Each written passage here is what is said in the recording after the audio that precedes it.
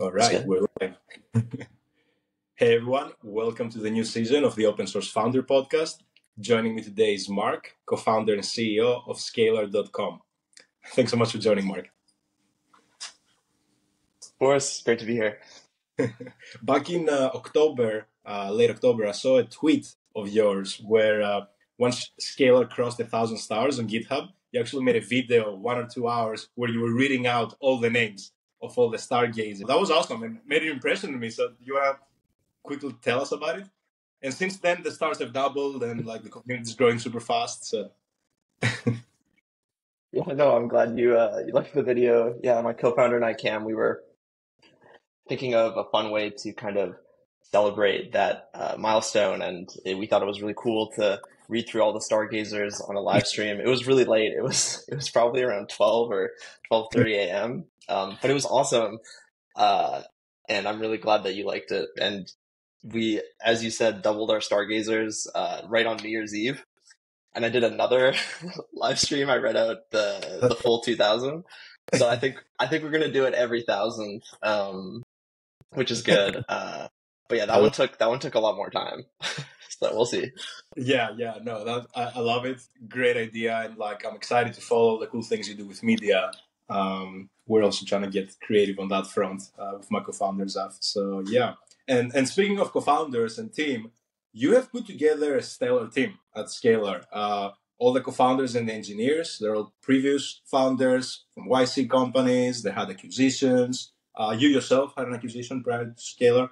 Uh, you sold your company. So how did you do that? How did you put together such a good team? yeah, it's a it's a it's a great question. Um, I know everyone talks about how hard uh, hiring is, but for for us, uh, I met my co-founder Cam. Just a quick uh, precursor on this. We met almost eight eight years ago now at a hackathon, and we kind of became really fast friends. Uh, built Launchaco, which was a startup website builder, which we, while I was still in school and funded by my student loans, uh, grew to a thousand paying customers, and we got acquired by Namecheap.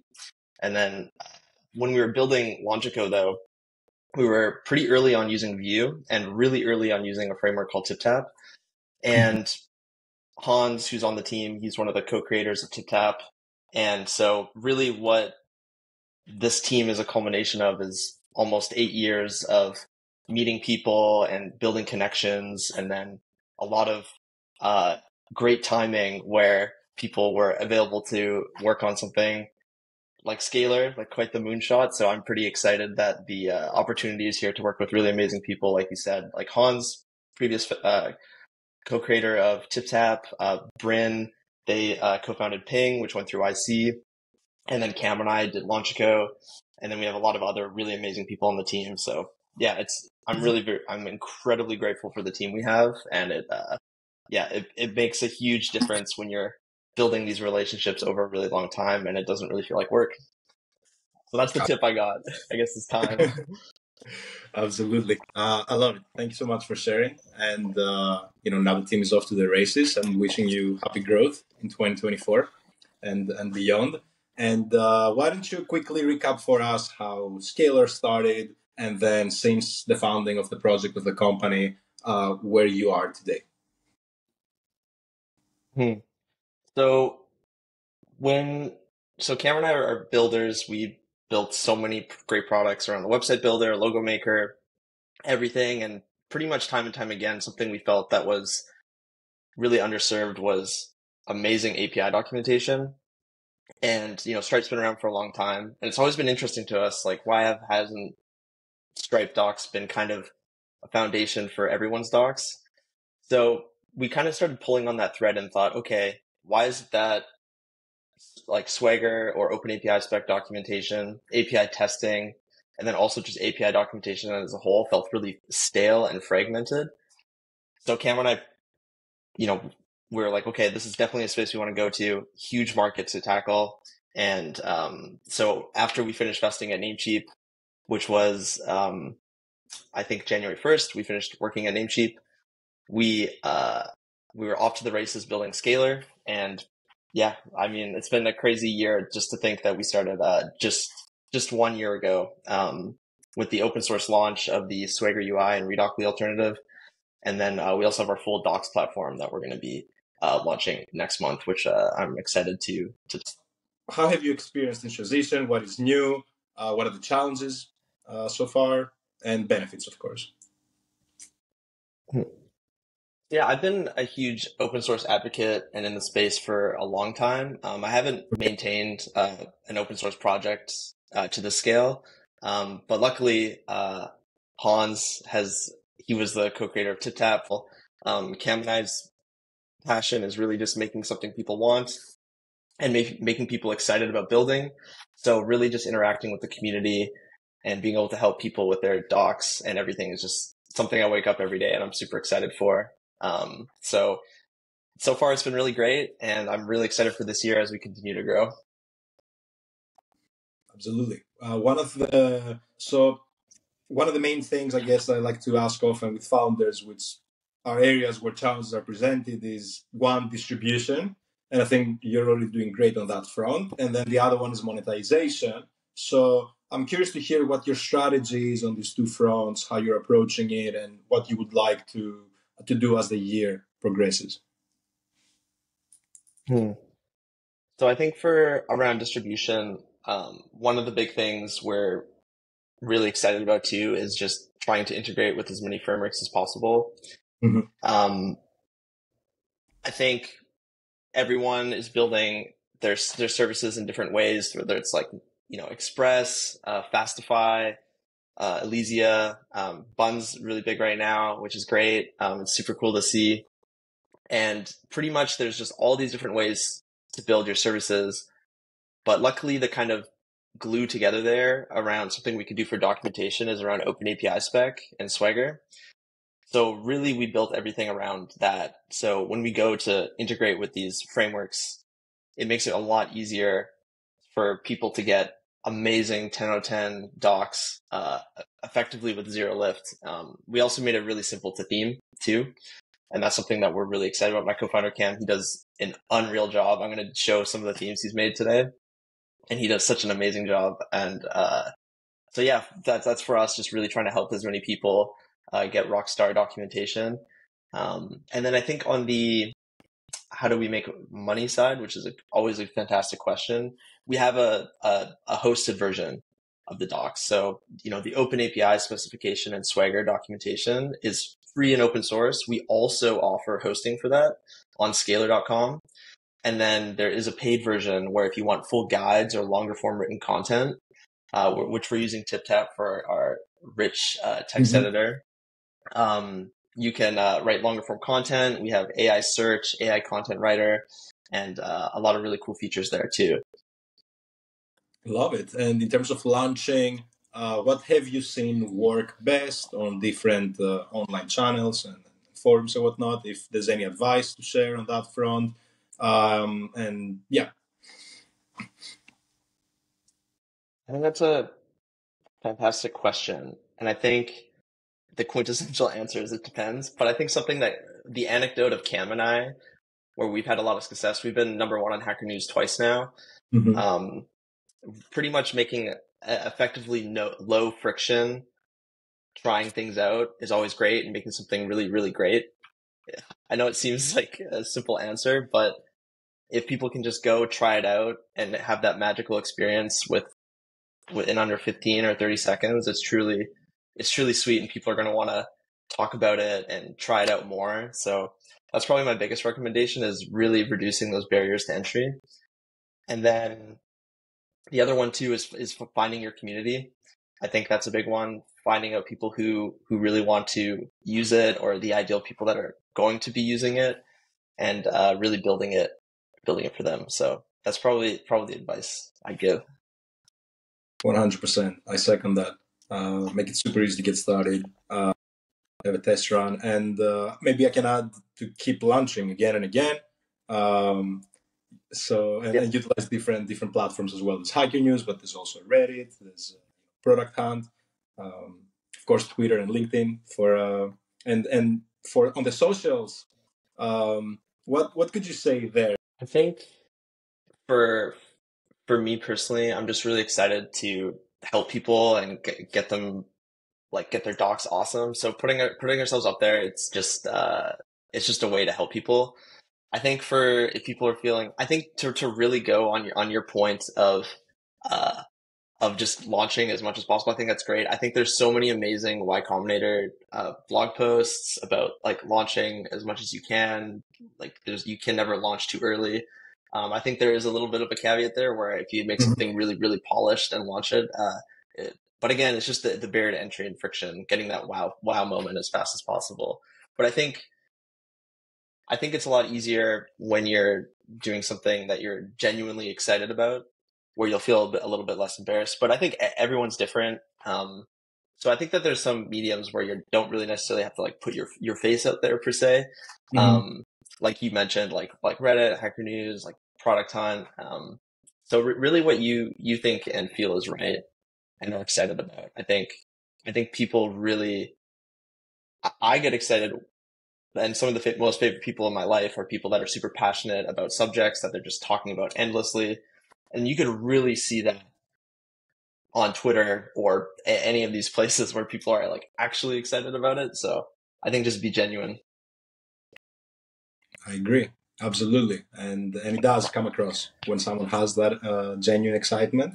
And then you know of course we should do it one way or another. We should do this. We should distribute on those channels. And then truth be told if the product is awesome it makes everything easier.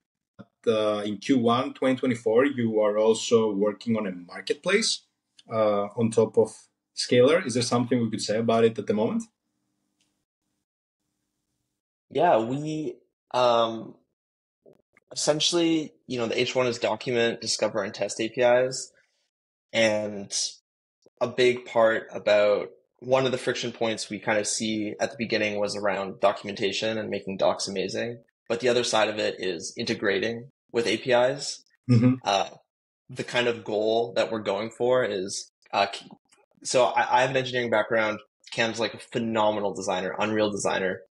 Something that we really want to be able to hit is Cam's ability to just like jump in and start integrating with APIs. Right now, there's like a huge uh, friction point and really it's not as accessible as it can be for the new wave of developers and engineers coming in. So uh, the kind of idea with it is we want to make it incredibly easy for people to integrate with other APIs with with their APIs. So we're hoping for Q1, might might be Q2. we'll see.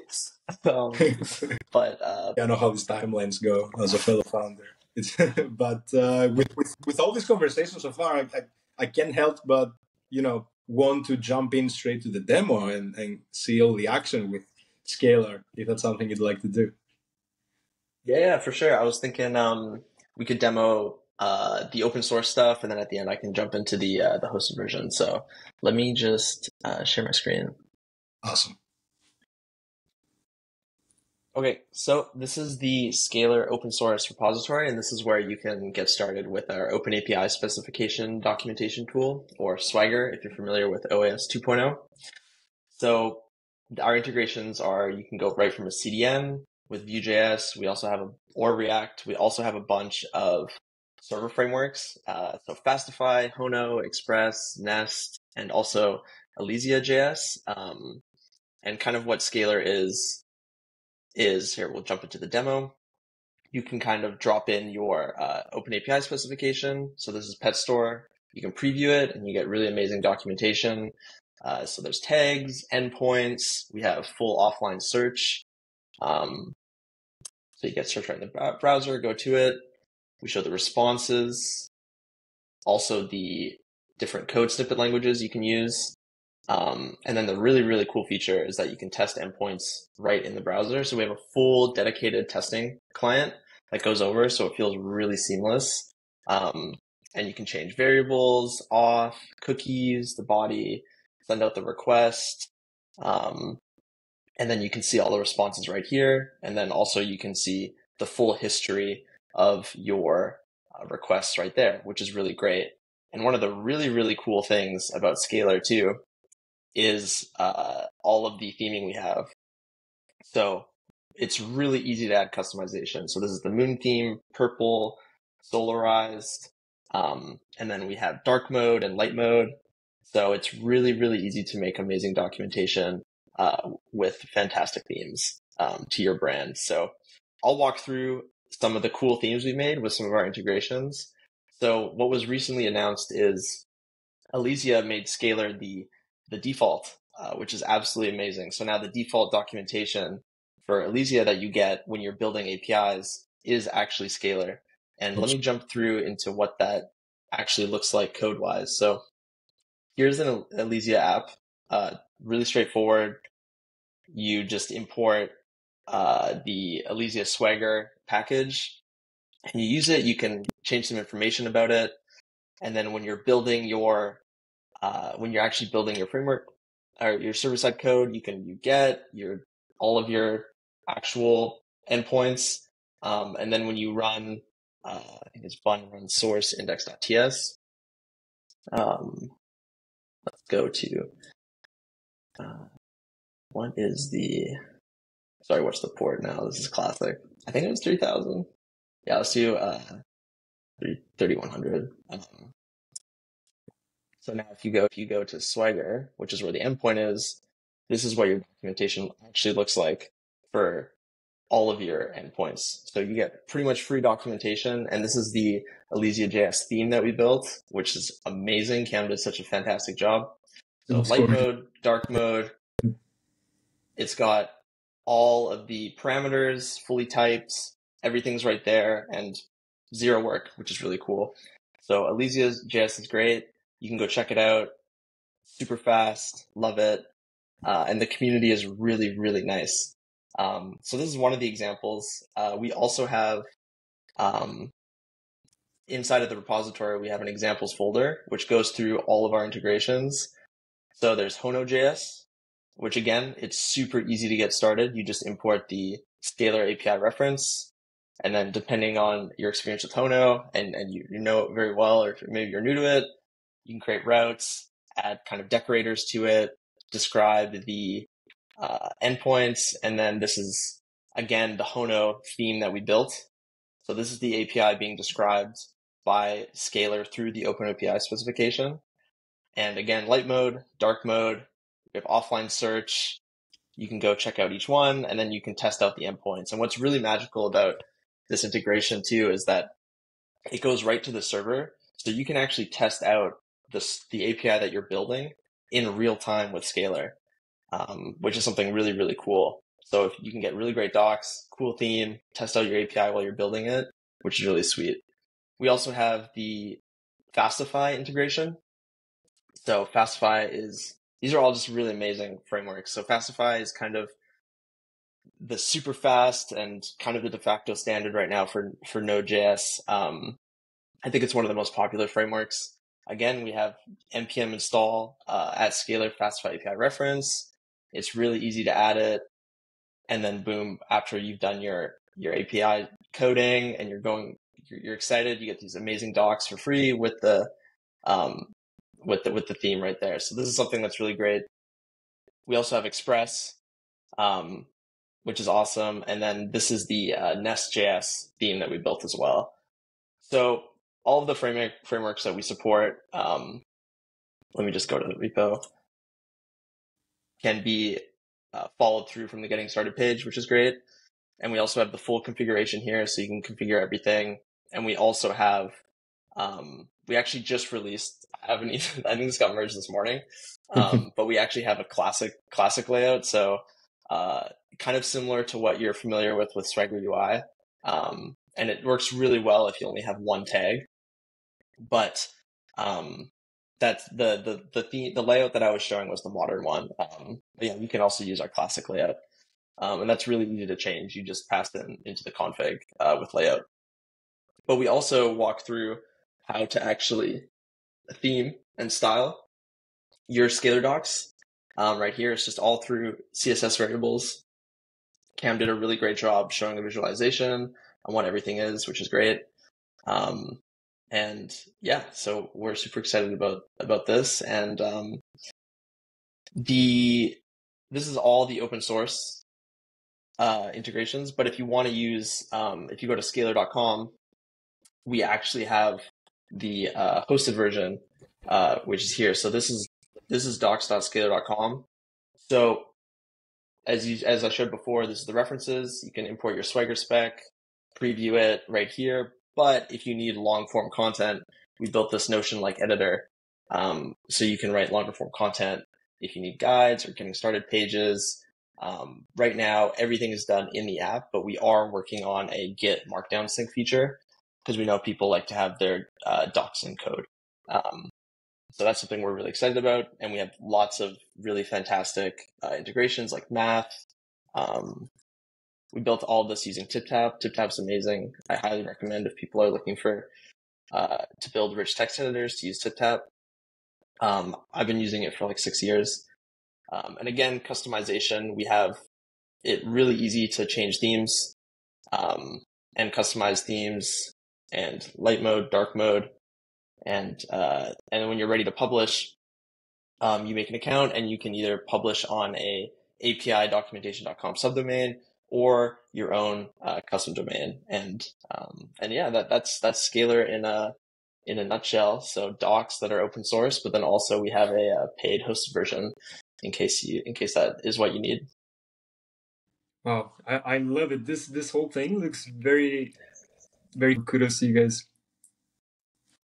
Thank you so much. Yeah, it's super easy to.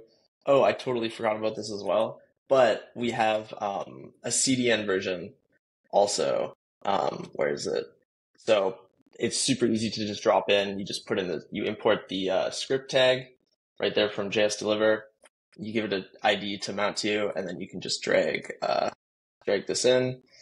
And this is just with the pet store example. So really easy to integrate into your existing apps, uh, or however, however you're doing it, just in case we don't have any integrations built out yet for you. So it's really simple to swap out for Redocly or Swagger UI or whatever your existing solution is. That was the last one. Love it. And for complex parameters like uh, arrays and objects, I saw that you guys have like nesting support and stuff. And that is yeah, yeah, we support um, models, everything, right?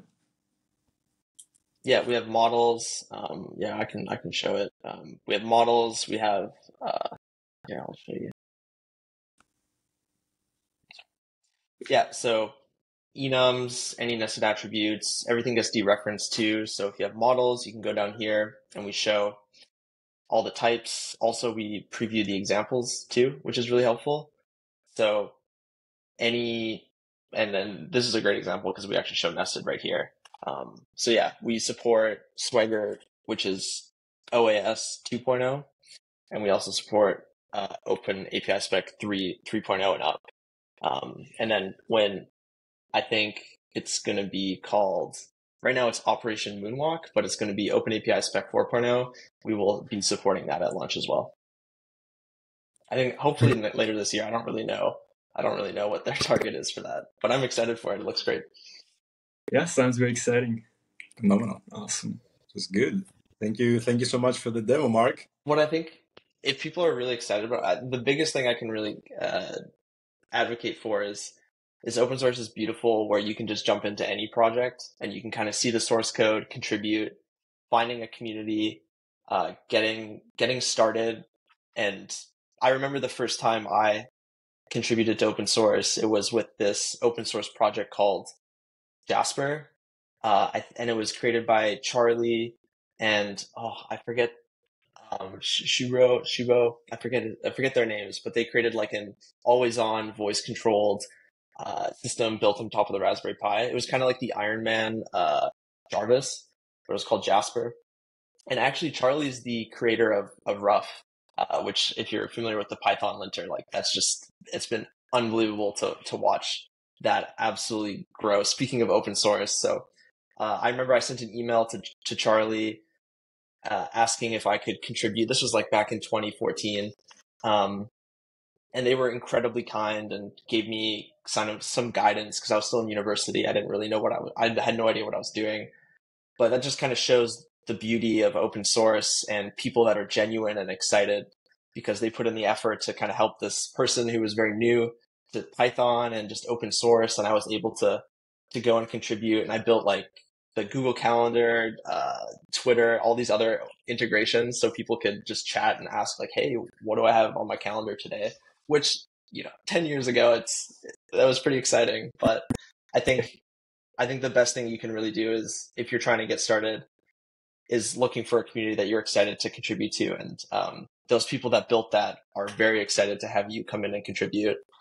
And then I think when you go to the natural progression of you wanting to build something open source, or maybe you're starting there, I think the reverse just happens where people are going to be excited about what you're building and fostering that, that community of empathy and, and people are just going to be really excited to, to collaborate. So, so I think, yeah, just be, be genuine and, and, and go contribute to some open source repositories you're excited about. That's like the best advice I can give. And then also, you know, if you're interested in open API specification, Vue, uh, API docs as a whole, testing, uh, Scalar, come, come, come check out github.com forward slash Scalar.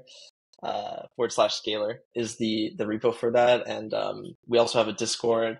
I'm incredibly active. The whole team's incredibly active. Uh, if you have any questions, looking for, uh, issues to get started on, uh, we're, we're here and we're excited. And, and this is the, the thing that we wake up for that we're excited to work on every single day. So if that's something that you're excited about, then I would highly recommend checking out this. And also, I just love to hear and see what people are building. Uh, so even agnostic of, of using Scalar, it's just, it's just fun to see uh, what people are building in the open source world.